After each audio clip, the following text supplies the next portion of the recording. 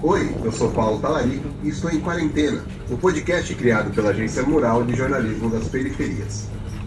2020 tem sido um ano em que os serviços de saúde voltaram ao centro da pauta por causa da pandemia de Covid-19. Hoje vamos falar sobre quanto pode gastar um candidato a prefeito e vereador. Redutos eleitorais, basicamente, são os bairros onde determinado vereador foi mais votado. Bom, para começar, se o vereador te prometer vaga em hospital, em creche ou qualquer outro favor para ganhar voto, já saiba que ele está errado. Para acompanhar o que um prefeito ou uma prefeita realmente fez ao longo dos anos, algumas cidades têm o chamado plano de metas. Então pensa, Sabe aquela obra parada há mil anos no seu bairro? Será que seu candidato da última eleição está fiscalizando direitinho? Será que ele conhece mesmo a região e seus problemas?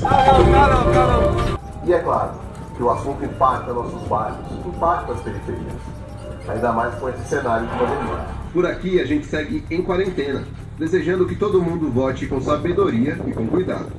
Acesse o site da Agência Mural, agenciamural.org.br. Por fim, Lave sempre as suas mãos e, se for sair, não esquece a máscara. Até mais.